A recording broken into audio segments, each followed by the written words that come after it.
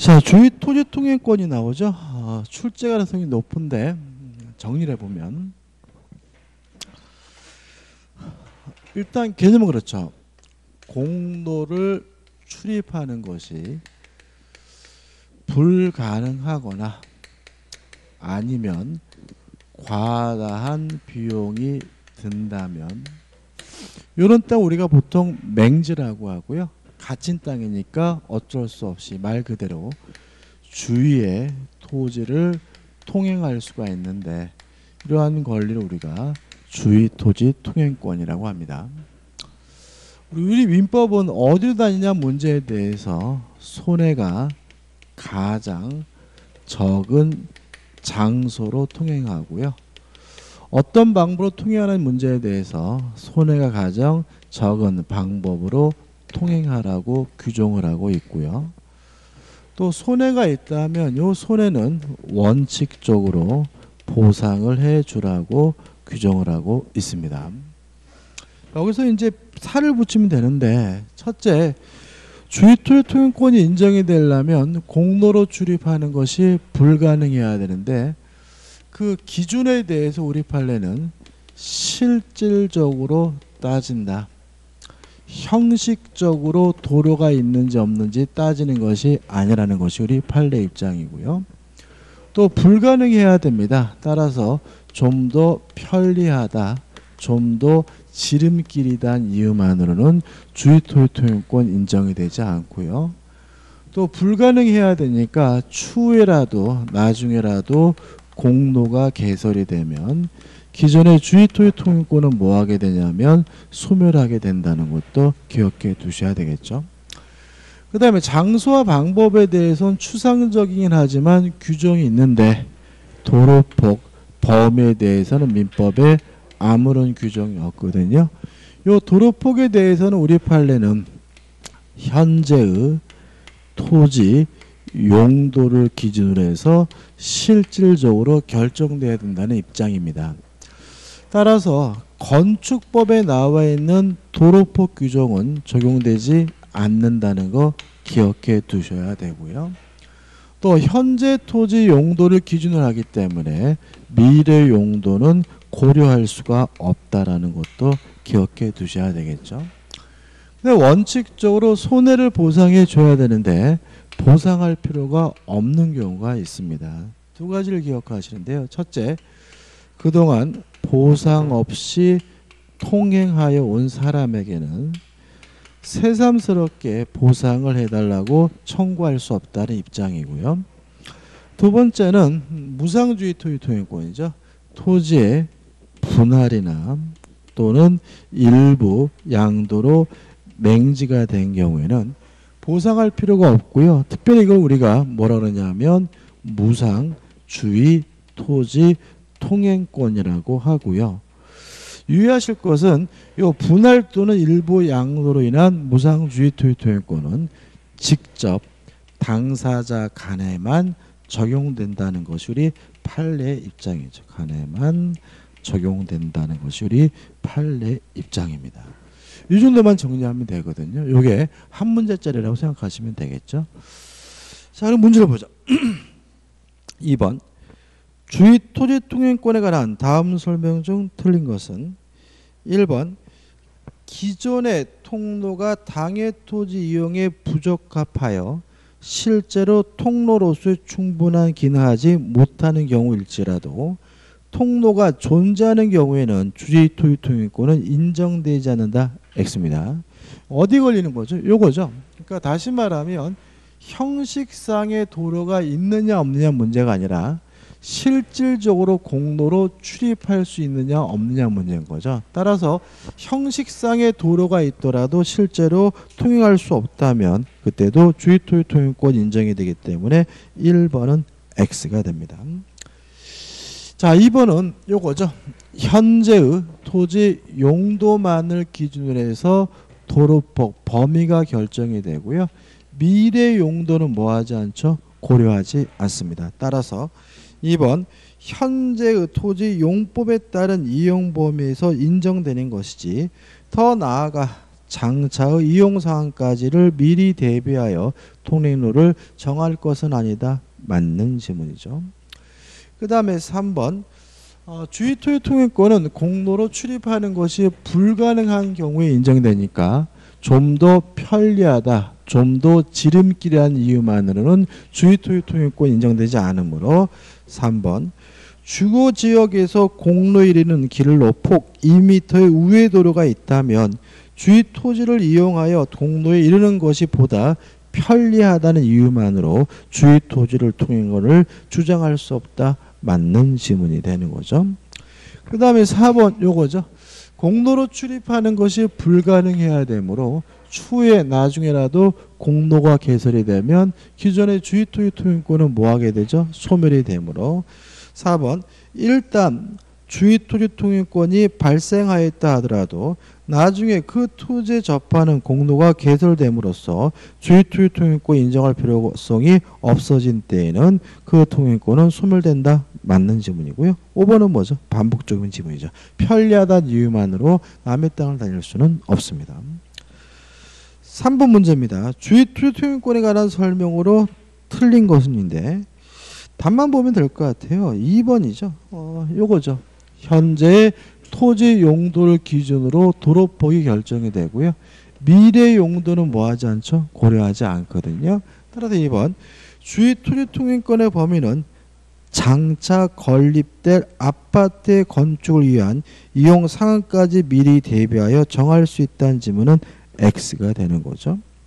그 다음에 주의하실 것은 뭐 4번인데 그러니까 주의 토용권이 인정이 된다는 말은 남의 땅을 다닐 수가 있고요.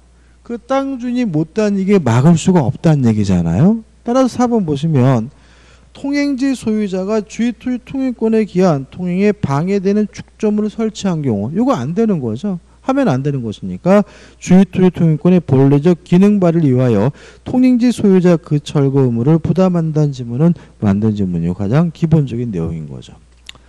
넘기셔가지고 4번입니다. 상린 관계에 관한 다음 설명 중 틀린 것은 1번 무상의 주의투유 통행권을 인정하는 민법 제220조의 규정은 직 접 분할자 또는 일부 양도 당, 응도 당사자 사이에만 적용되고 포위된 토지 또는 피통행지의 특정 승계인에게는 적용되지 않는다. 맞는 질문이죠. 요거죠. 분할, 일부 양도이란 무상주의 토유통행권은 직접 당사자 간에만 적용된다는 것이 우리 판례 입장이므로 1번은 맞는 지문이죠. 2번 주의 투유 통행권은 통행권의 용인을 청구하는 데 불과한 소극적 권리이다. 다시 말하면 남의 땅을 다닐 수 있는 소극적 권리에 불과한 거죠. 따라서 통행지에 대한 소유자의 점유까지 배제되는 것은 아니므로 통행 권리자 이를 배타적으로 정유하고 있다면 통행지 소유자는 통행권자에 대하여 그 인도를 청구할 수 있다. 그러나 통행권자는 토지 소유자에 대하여 통행권에 기하여 그 토지 인도를 청구할 수는 없다. 다시 말하면 난순이 남을 땅을 다닐 수 있는 권리에 불과한 거죠. 3번 주의 토지 통행권을 취득한 자의 허락을 얻어 사실상 통행하고 있는 자에 대하여 이것도 좀 논점이 좀 다르긴 하지만 이렇게 기억하시면 돼요. 보상 없이 통행하여 온 사람에게는 새삼스럽게 보상을 청구할 수 없다는 것이 판례 입장이다. 따라서 사실상 통행하고 있는 자에 대하여 주의 토지, 토지, 토지의 소유자는 손해배상을 청구할 수 있다. X고요. 답은 3번이 됩니다. 뭐 4번 읽어보시면 될 것 같고 5번은 한번 5번도 한번 읽어보시기 바랍니다. 그다음 우측에 5번은 가입표예요. 이거 완전 가입표입니다. 이런 거 절대로 안 물어봅니다. 뭐 과거에 예를 들어서 여러분하고 저한 20년 전에 공부하는 거면 이런 거 물어보는 경우가 발생하지만 이런 거 절대 안 물어보니까 외울 필요 전혀 없어요. 그죠? 아무 의미 없는 질문이죠. 그다음에 6번입니다. 다음은 소유물 반환 충구권에 관한 설명이다. 틀린 것은 이거는 우리가 전에 했던 물권조 충구권으로 문제를 풀면 되거든요.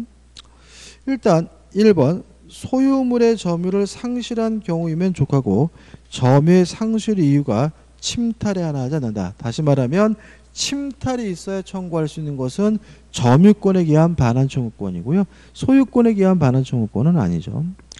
2번 상대방은 현재 소유자의 점유를 방해하고 있는 자이면 족하고 그의 고의 과실 여하는 묻지 않는다. 다시 말하면 물권적 청구권의 상대방은 점유자고 고의 과실은 필요가 없죠. 3번 선의의 특정 승계에게도 반환 청구할 수 있습니다. 선의의 특정 승계에게 하지 못하는 것은 점유권에 의한 반환 청구권이죠. 4번 점유자가 물건을 점유할 권리가 있는 때 예를 들어서 적법한 임차권자거나 적법한 뭐 지상권자거나 그런 경우에는 소유자의 반환 청구를 거부할 수 있다 너무나 당연한 얘기고요. 5번 물건의 반환 및 손해배당 청구는 점유를 상실한 날로부터 1년 내 행사해야 한다. X죠. 이렇게 1년 내 행사해야 된다는 제한이 있는 것은 뭐에 하나입니까? 점유권에 기한 반환 청구권 하나고요. 소유권에 기한 물권 청구권뿐만 아니라 모든 물권 청구권 원칙적으로 어, 제한이 없기 때문에 답은 5번이 되는 거죠. 넘기시면 이제 7번입니다. 자, 치득쇼가 나오는데요. 좀 약간 출제경이 좀 바뀌었습니다. 그러니까 이 치득쇼에 대해서 한 2, 3년 전까지는 무조건 내는 범위였는데 최근 들어서는 꼭 그런 것만도 아닌 것 같아요. 잘 내는 편인 정도고요. 안 낼 수도 있다는 얘기고. 그 다음에 과거에는 또 매년 무조건 내다 보니까 문제가 굉장히 까다로웠거든요. 근데 최근에는 무조건 내는 것은 아니기 때문에 어렵게 내진 않으니까 너무 지엽적인 판례에 집착하실 필요는 없습니다. 자, 취득슈가 두 가지가 있습니다. 일단 점유 취득시효죠. 일단 점유 취득시효는 왜 인정되는 거냐면 입증 곤란을 구제하기 위한 제도다라는 거 기억해 두시고 어, 첫 번째 기억할 것은 음, 일부에 대한 일부 토지에 대한 취득시효도 가능하다. 왜냐하면 점유 취득시효는 타인의 부동산을 점유만 하면 되는데 일부 토지를 점유하는 것도 가능하니까 점유 취득시효 가능하고요. 그 다음에 두 번째 자신의 소유물에 대해서도 점유 취득시효하는 것이 가능하다. 왜냐하면 점유 취득시효란 입증 곤란을 구제하기 위한 제도니까요.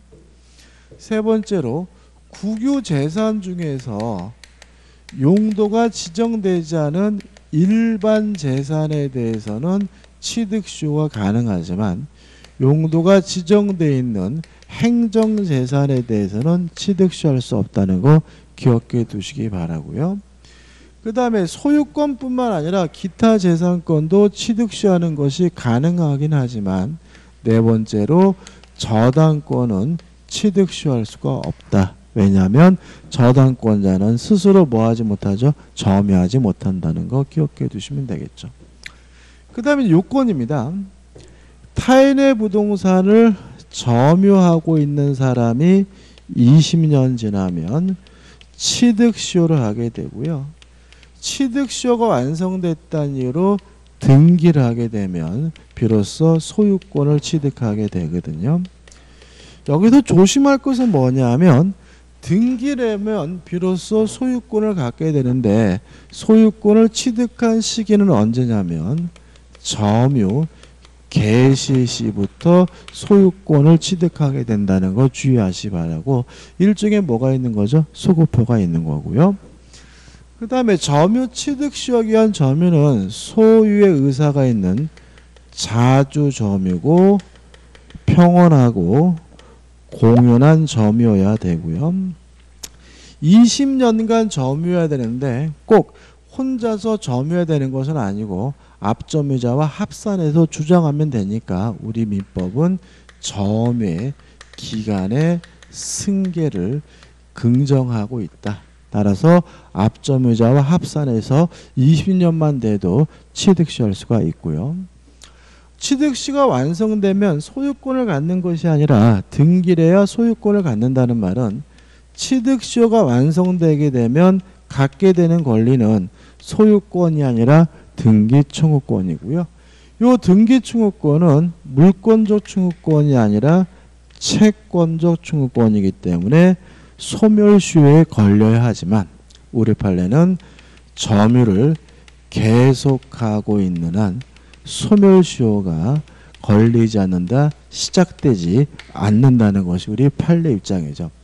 따라서 점유를 상실하게 되면 그때부터 10년 지나면 등기를 청구할 수가 없게 되고요. 또 등기 청구권이 채권 청구권이라는 말은 상대방이 특정된 사람이란 얘기인데 그 특정된 사람이 누구냐면 취득시효 완성 당시 소유자라는 얘기죠. 따라 등기는 누구한테만 청구할 수 있냐면 취득시효 완성 당시 소유자에게만 청구할 수 있다는 거 꼭 기억해 두시기 바랍니다. 따라서 여기서 이제 우리가 한 가지 사례를 알 수가 있어요. 등기는 가비하고 있고 점유는 의리하고 있는데 이런 상태에서 20년이 되면 소유권을 갖는 것이 아니라 등기청구권, 채권을 갖게 되고요.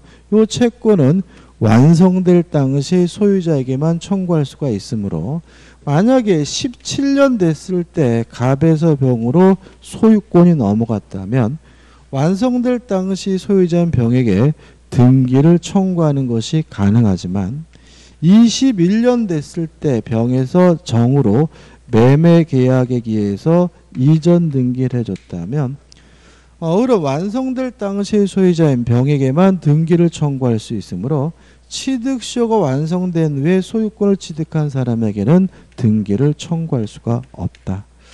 이때 결국 을은 소유권을 취득할 수는 없고요. 완성될 당시 소유자에게 손해 배상을 청구하게 되는데 이 손해배상의 원인에 대해서 우리 판례는 불법행위를 원인으로 손해배상을 청구하는 거다. 뭐가 있냐면 채무불이행이 아니라는 점 주의하시기 바랍니다. 이 정도가 가장 기본적인 내용이고요. 이 정도 가지고 문제를 좀 풀어보도록 하죠. 7번입니다. 취득시에 관한 설명 중 틀린 것은 1번 토지에 대한 취득시효 완성을 이유로 소유권 이전 등기를 청구하려면 누구한테 하는 거죠? 시효 완성 당시 소유자를 상대로 하여야 한다. 5점. 2번 취득시효 기산점 시작점은 점유 기간 중에 등기 명의자의 변동이 있어도 자유롭게 선택할 수 있다. X입니다. 왜냐하면 만약에 을이 요 점유 취득시효 기산점 시작점을 자유롭게 선택할 수 있어 뒤로 밀 수가 있으면 얘를 뭐로 바꿔버릴 수 있냐면 완성될 당시 소유자로 바꿔버릴 수가 있거든요. 그런 일이 있으면 안 됩니다. 따라서 소유자의 변동이 있는 경우에는 점유 개시 기산점 임의로 선택할 수가 없기 때문에 2번이 X고 2번이 답인 거죠. 3번 부동산에 관한 취득시효가 완성된 후 취득시효를 주장하거나 이로 인한 소유권 이전 등기 청구를 하기 이전에는 등기 명의자인 부동산 소유자로서는 특별한 사정이 없는 한 시효 취득 사실을 알 수 없으므로 이를 제3자에게 처분하였다 하더라도 불법행위가 성립할 수 없다. 이건 어떤 지문이냐면 이런 얘기죠. 완성될 당시 소유자에게 불법 행위를 원인으로 뭘 청구할 수 있어요? 손해배상을 청구할 수가 있는데 불법 행위가 성립하려면 완성될 당시 소유자에게 뭐가 필요하다는 거죠? 고의나 과실이 필요하다는 거죠. 그래서 만약에 병에게 고의나 과실이 없다면 불법 행위를 원인으로 손해배상을 청구할 수가 없다는 취지에 불과한 거니까 너무 신경 쓰지 마시고요. 그 다음에 이제 4번이죠. 좀 정리해야 되겠네. 어, 등기부 취득 시효죠.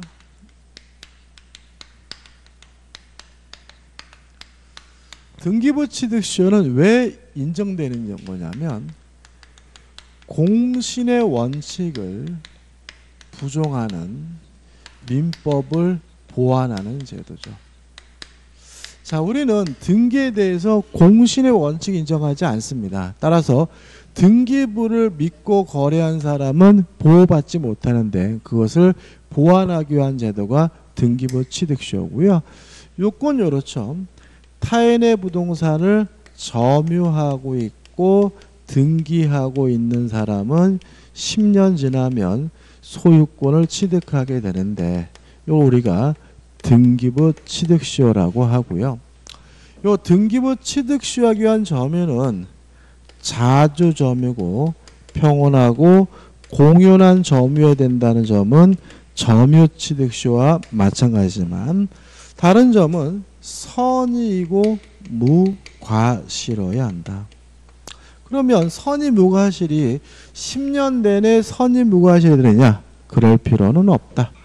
점유를 개시할 때 시작할 때만 선의 무과실이면 되고요.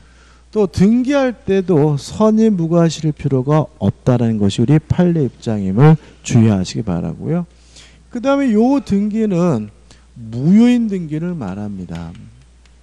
무효인 등기를 해서 소유권을 취득하지 못한 사람은 10년 지나면 소유권을 취득한다는 얘긴데 왜 무효인지 이유는 묻지 않아요. 뭐 반사회적인 뭔 상관이 없는데 제외되는 거, 안 되는 것이 있다. 뭐냐면 후 보존 등기죠. 이중 보존 등기는 선 보존 등기에 유효하고요.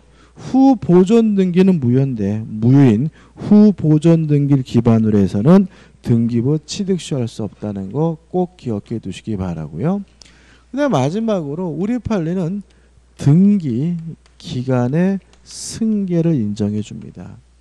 따라서 꼭 자기 이름으로 10년간 등기해야 되는 것은 아니고요. 암 명의자와 합산해서 10년만 되면 등기부 취득시할 수 있다는 거 기억해 두시면 되겠죠.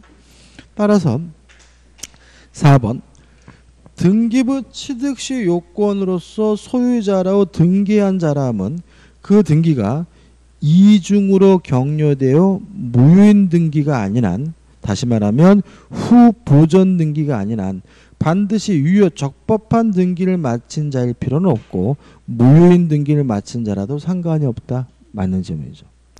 5번 등기부 취득수에서 선의 무과실은 등기에 관한 것이 아니고 점유 취득에 관한 것이다. 맞는 질문이 됩니다.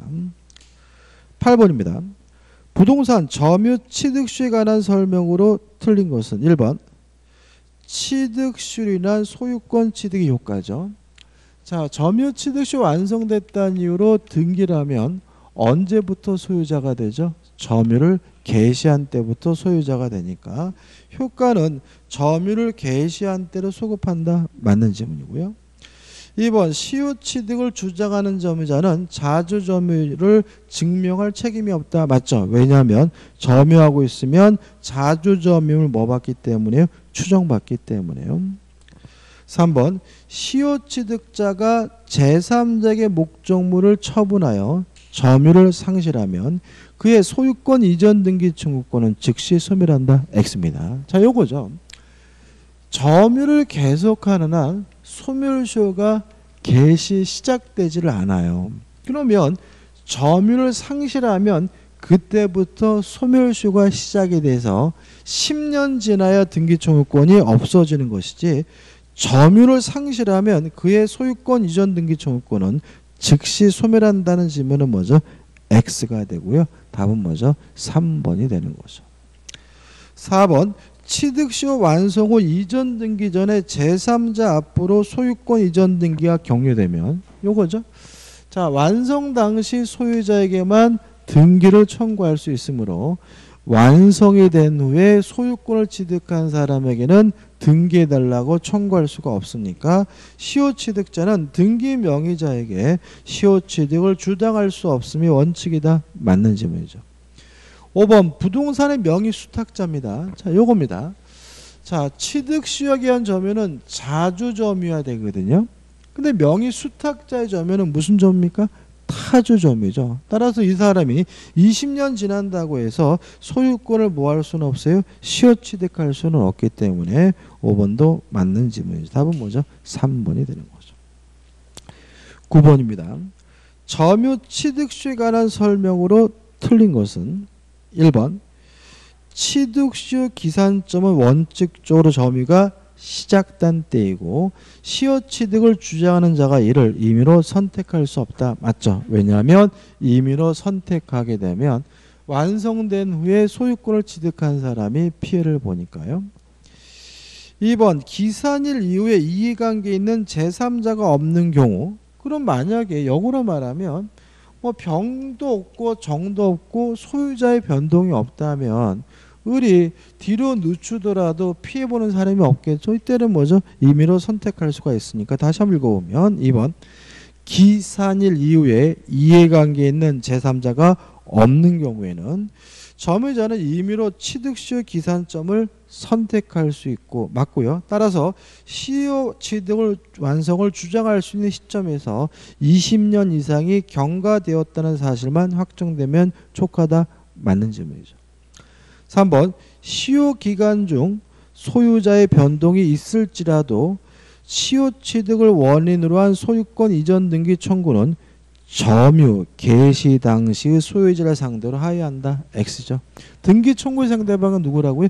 점유 개시 당시의 소유자가 아니라 취득쇼가 완성될 당시의 소유자이기 때문에 X고 답은 뭐죠? 3번이 되는 거죠. 보시면 아시다시피 문장 자체가 어려울 뿐이지 내용은 뭐죠? 계속해서 뭐예요? 반복인 거예요. 3번이 답이죠. 4번.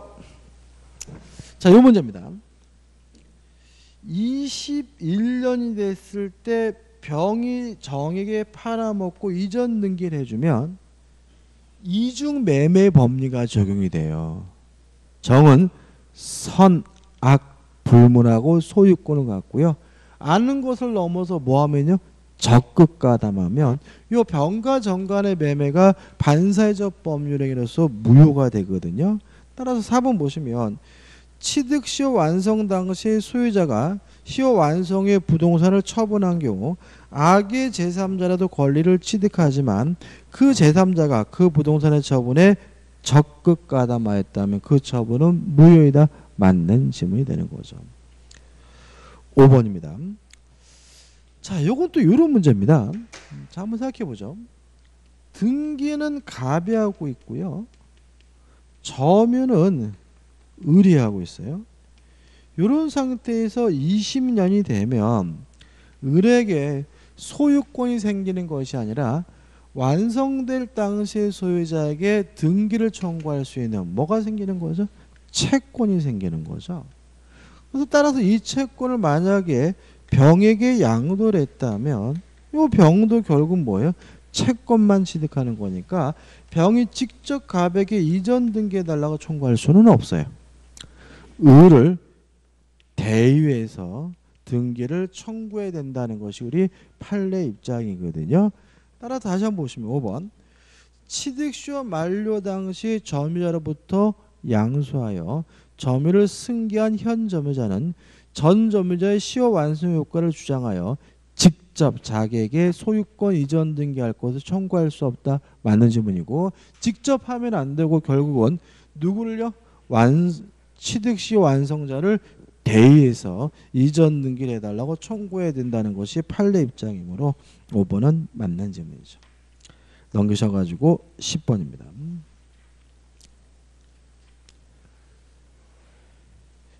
A는 B의 X 토지를 매수하여 1992년 2월 1일부터 등기 없이 2014년 현재까지 점유하고 있다. 다음 설명 중 옳은 것은 1번 A의 B에 대한 매매를 원인으로 한 소유권 이전 등기 청구권은 2002년 2월 1일 시효로 소멸한다. X입니다. 자, 우리 저번 주에 했죠. 매수인의 등기 청구권은 채권 청구권이지만 점유를 계속하는 한 뭐에 걸리지 않죠? 소멸시 걸리지 않는다. 그죠? 2번 A가 매매를 원인으로 하여 점유를 개시하였음을 증명하지 못하면 그의 점유는 타주 점유로 본다. X죠. 점유는 자주 점유임을 추정받으므로 스스로 뭐 할 필요 없어요? 입증할 필요가 없죠. 따라서 입증할 필요가 없는데 입증하려다가 실패했다는 이유만으로 어, 타주 점유로 전한다는 것은 아니기 때문에 2번은 X가 됩니다. 3번 C가 2010년 9월 9일 B로부터 매수의 소유권을 취득했어요. 그럼 여기서 생각해 볼 것은 C가 소유권을 취득한 시점이 취득시효 완성 전인지 후인지를 좀 따져봐야 되거든요. 자, 92년 2월 2일부터 점유를 했으니까 92년부터 20년이 되면 몇 년이죠? 2012년이잖아요. 근데 지금 C가 소유권을 취득한 시점은 언제입니까? 2010년이죠. 그럼 이 사람은 20년이 완성되기 전에 소유권을 취득한 사람이니까 B의 입장에서는 아 A의 입장에서는 완성 당시 될 당시 소유자인 누구에게요? C에게 뭐 할 수 있는 거죠? 등기를 청구할 수가 있는 것이니까 A는 X 토지를 시효 취득할 수 없다. X가 되는 거죠. 4번 A가 2014년 3월 3일 D에게 X 토지를 매도해 점유를 이전했어요. 그럼 요거죠. 지금 취득시효가 완성된 후에 D에게 자신의 권리를 팔아먹었다면 D는 직접 완성 취득시효 완성됐음을 이유로 이전 등기해달라 청구할 수는 없고 A를 뭐예요? 대의에서 등기를 청구해야 되거든요. 따라서 2014년 현재 D는 시효 완성을 이유로 B에 대하여 직접 소유권 이전 등기를 청구할 수 없다. 맞는 질문이죠. 직접 하는 것이 아니라 A를 대의해서 청구해야 되겠죠. 그 다음 5번입니다. 2014년 4월 4일 엑스토지의 청구권 보존을 위한 가등기가 됐어요. 자, 우리가 가등기는 가등기 자체만으로는 아무런 효과가 없는 거잖아요. 다시 말하면 20년이 지난 후에 가등기가 됐더라도 소유자가 변동되지 않은 겁니다. 따라서 여전히 시효취득을 주장하는 것이 가능하기 때문에 A는 더 이상 X 토지를 시효취득할 수 없다는 점에는 X가 되고요. 답은 뭐죠? 4번이 되는 거죠. 11번입니다. 갑소유 부동산 을이 20년간 소유의 의사로 평원 공연하게 점유의 취득시효 기간이 경과했으나 을이 아직 등기를 하지 아니한 상태이다. 다음 중 판례 입장과 일치하지 않는 거죠. 그러면 등기는 갑이 하고 있고 점유는 누구 하고 있는 거죠? 을이 하고 있는 거죠. 1번. 갑이 제3자 병에게 목적 부동산을 처분하여 이전 등기를 마쳤어요. 지금 20년이 지났다고 나와 있잖아요. 그러면 갑이 병에게 팔아먹은 것은 20년이 지난 후에 병에게 팔아먹고 병에게 이전 등기를 해줬으니까 을은 병에게 이전 등기해 달라고 뭐 할 수 없습니까? 청구할 수가 없고요. 그럼 을은 어떻게 합니까? 완성될 당시 소유자인 갑에게 불법 행위를 원인으로 손해배상을 청구하게 되는데 항상 조심할 것은 요 손해배상 청구의 원인은 뭡니까? 불법행위지 뭐는 아니요 채무불이행인 것은 아니거든요. 따라서 을은 갑에게 채무불이행 책임을 물을 수 있다. X입니다.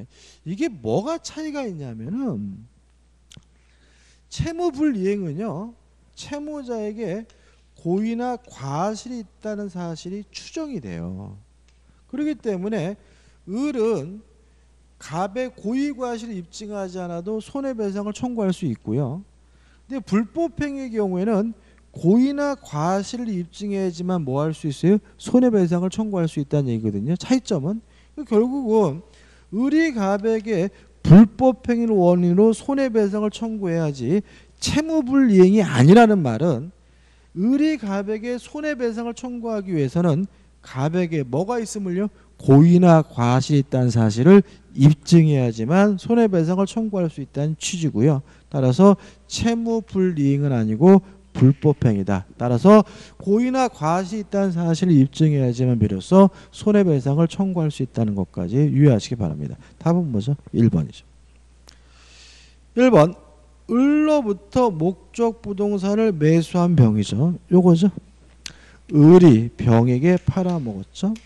그러면 병은 을을 뭐 해야 돼요? 대위해야 되니까 을의 소유권 이전 등기 청구권을 대위 행사할 수 있다. 맞는 질문이죠. 3번 갑이 제3자 병에게 목적 부동산을 처분하여 이전 등기를 마쳤다면 완성될 당시 소유자인 갑에게만 등기를 청구할 수 있으니까 을은 취득시 완성을 가지고 병에게 대항할 수 없다. 맞는 질문이죠. 4번 갑에 대한 을의 소유권 이전 등기 청구권의 소멸시효 기산점은 점유를 상실한 시점이다. 무슨 말입니까? 요거죠. 어, 점유를 계속하는 한 소멸시효 걸리지 않고 점유를 상실하면 소멸시효가 뭐가 돼요? 개시가 되니까 소멸시효 시작되는 시점 은 언제입니까? 점유를 상실한 때다 맞는 질문이 되는 거죠. 아, 그 다음에 5번 위 부동산이 수용됨으로 인하여 갑의 소유권 이전 등기무가 이행불능이 된 경우 을이 대상 증후권 행사하기 위해서는 갑의 의무가 이행불능이 되기 전에 을이 갑에 대해 권리를 주장하여야 한다. 맞는 질문이고 좀 따로 좀 기억해 두셔야 되는데 이런 문제죠. 갑이 병에게 팔아먹었다면 불법 행위를 원인으로 손해배상을 청구할 수 있지만 갑이 병에게 수용당한 거라면 갑에게 뭐가 없죠? 고의나 과실이 없으니까 불법 행위를 원인으로 손해배상을 청구할 수는 없어요. 그 대신 을은 갑에게 수용 보상금을 대신 달라고 요구하는 뭐는 인정돼요? 대상 청구권은 인정이 되는데 유의하실 것은 대상 청구권이 인정되기 위해서 5번에 나와 있는 것처럼 을이 갑에게 취득시효가 완성됐음을 주장한 바가 있어야지만 대상 청구권이 인정된다는 것이 우리 판례 입장이니까요. 그거 하나 좀 주의하시기 바랍니다. 음. 넘기셔가지고 12번입니다. 갑은 을의 소유명으로 되어 있는 A 부동산을 20년 넘게 점유하여 점유취득시효가 완성되었다. 이런 게 나오면 옆에다가 이 정도는 좀 메모하세요. 그죠? 음, 지금 등기는 을 앞으로 되어 있고 점유는 누가 되어 있죠? 갑이 하고 있다. 그죠? 그리고 나서 지금 20년이 지났다까지 이제 문제에 나와 있는 거죠. 그런데 그 을로부터 갑에게로 취득시효 원인을 한 소유권 이전 등이 경료되기 전에 A 부동산의 소유 명의가 을로부터 병에게로 이전됐다. 그러고 나서 20년이 지난 후에 을에서 병으로 뭐죠? 소유권 이전 등기가 이루어졌다.까지 적어 놓으시면 문제 풀 때 편합니다. 옳은 것은 1번 갑은 을에 대한 시효 취득이나 소유권 이전 등기 청구권을 상실한다. X죠. 다시 말하면 완성될 당시 소유자에게만 등기를 청구할 수 있다는 얘기고요. 병에게는 등기를 청구할 수 없다는 얘기지 을에 대한 등기 청구권이 뭐 되는 건 아니에요? 소멸되는 것은 아니죠. X네요. 따라서 2번 후에 어떤 사유로 을에게로 다시 A 부동산에 대한 소유권이 회복되면 갑은 을에 대하여 시효 취득 효과를 주장할 수 있다. 맞는 질문이 되는 거죠. 답은 뭐죠? 2번이죠. 3번 갑은 병에 대하여도 취득 시효를 대항할 수 있다. X입니다. 그죠? 반복적이고 4번입니다.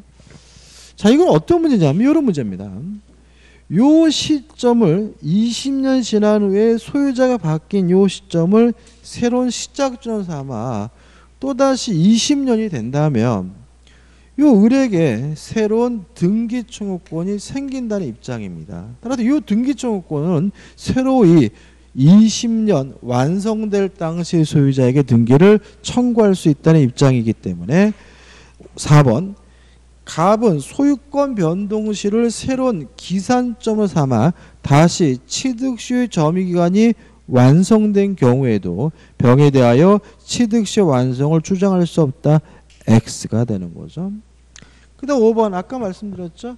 자 수용당했다는 이유로 대상 중고권 행사하려면 취득시효가 완성됐다는 사실을 주장한 바가 있어야 되므로 5번 갑은 자신의 시효 완성 사실을 을에게 알렸는가 여부와 무관하게 의뢰 병에 대한 권리를 목적으로 하여 대상 증후권 행사할 수 있다. X가 되는 거죠. 자 이제 13번부터 이제 뭐죠? 등기부 취득 시효입니다.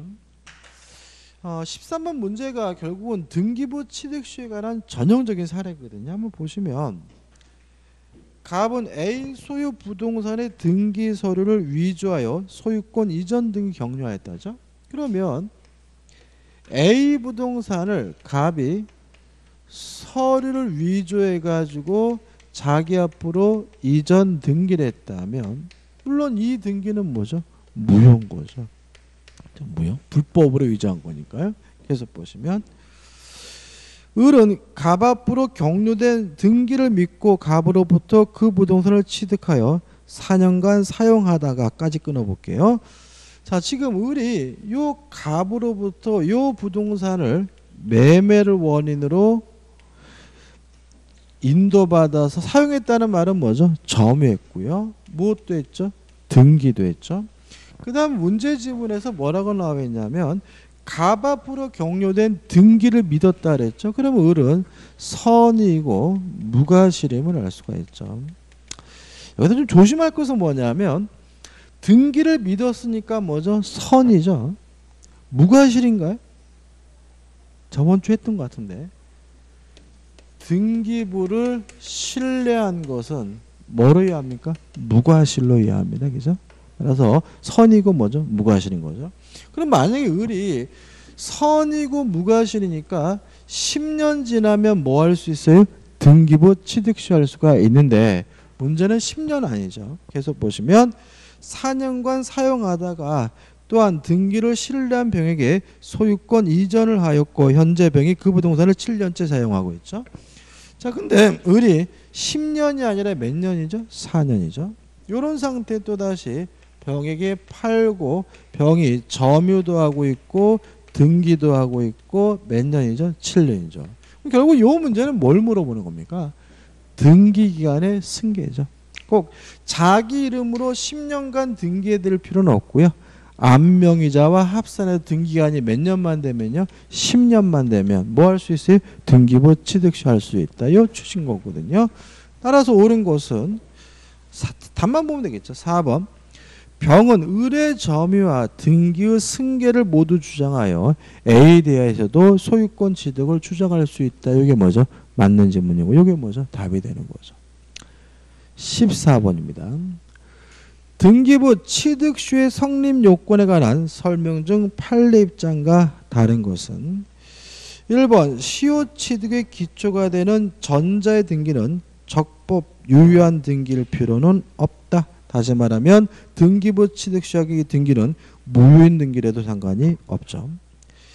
2번 소유권 보전 등기가 이중으로 격려된 경우에 뒤에 격려된 무효인 소유권 보전 등기나 이해터잡은 소유권 이전 등기를 근거로 해서도 등기부 취득 시 완성을 주장할 수 있다. X입니다. 다시 말하면 후 보전 등기를 기반으로 해서는 등기부 취득 시 할 수가 없죠. 답은 2번이죠.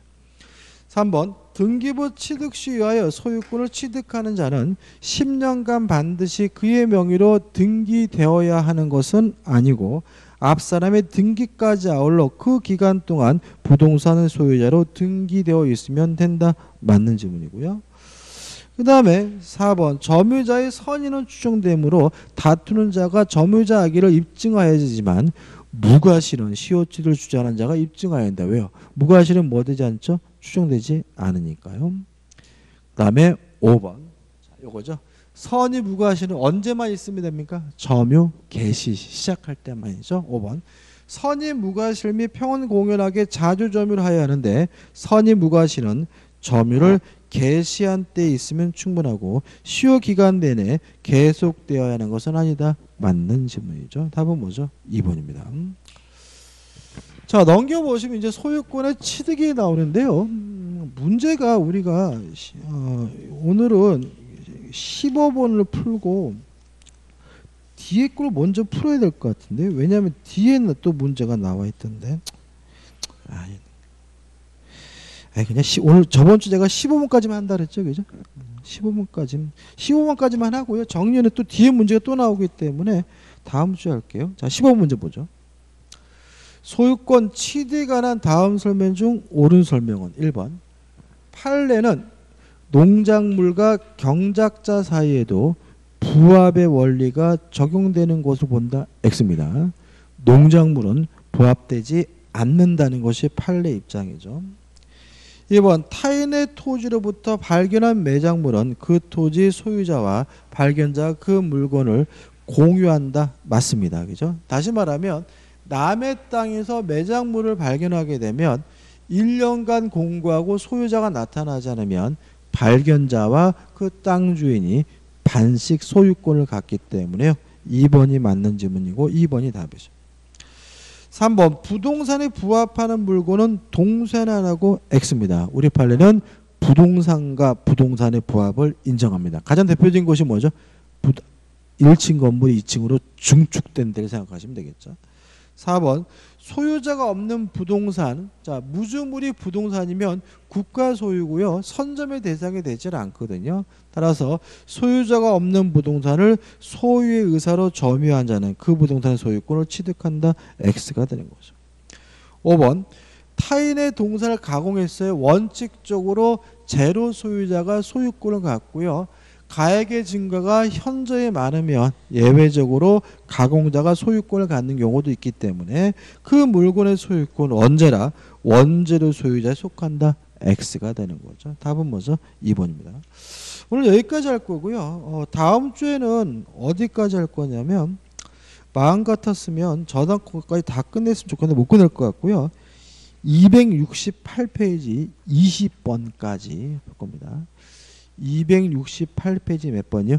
20번 해가지고 얼추 저당권을 더 여기 끝낼 것 같거든요. 그래서 268페이지 20번까지 풀고 오시기 바랍니다. 자 오늘 수고 많으셨습니다. 고맙습니다.